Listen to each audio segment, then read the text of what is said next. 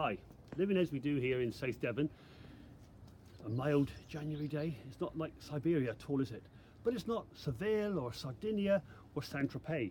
But we can grow a lemon. We have outside here a hardy, maturing lemon plant. It's about six or seven years old. It's been in this pot outside the front of our house. And if you look closely, it's absolutely covered in small, immature, genuine lemons. In fact, the crop is just coming up to ripen now. And here's one, as I say, I picked earlier, the, the first of the, the new crop.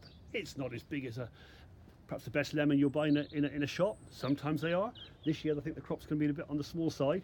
But look at them, absolutely covered. And it's been outside, as I say, for five, six, seven years now. All we do to it is cover it in a bit of fleece in very, very cold weather.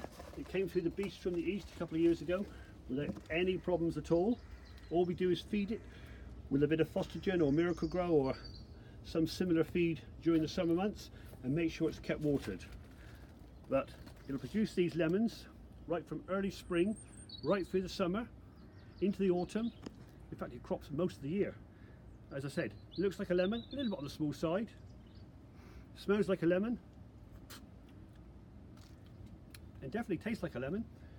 All ready for your G&T or your, or your pancake day.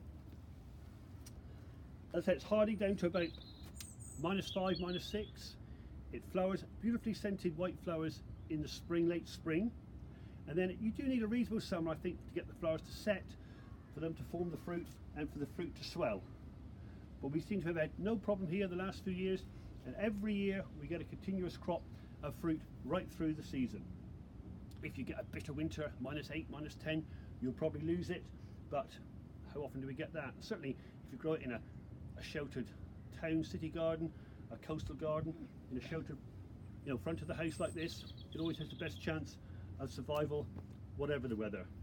Its botanical name is Citrus meyeri, Citrus meyeri, Meyer's lemon, and it's the hardiest lemon I believe you can grow in our climate and well worth a punt if you want something a little bit different, but it's actually very usable and very a very welcome addition in the kitchen.